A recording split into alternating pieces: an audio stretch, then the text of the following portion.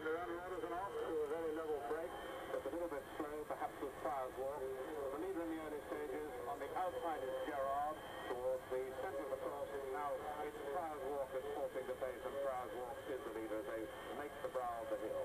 And they're all working their way over to the stand side where the going is appreciably faster following the watering overnight and they're coming up the stand rails and they pack right across, almost uh, uh, angle right over to the stand side rails. And this is most unusual. Walk is certainly leading them from Cataline and Tacticus and Gerard and J.O. Tobin packing along on the outside uh, in close touch, but just actually last at the moment. So they're coming to the halfway point. three furlongs out, and it's still Prior's Walk from Tacticus. And there's the figure coming on the far side with J.O. Tobin in a strong run, but it's still Prior's Walk. There's very fast two-year-old in the lead. From Tacticus now giving way as J.O. Tobin comes rather sharply across in front of him, and it's now Prior's Walk and J.O. Tobin, and J.O. Tobin has all the guns at the moment, and that's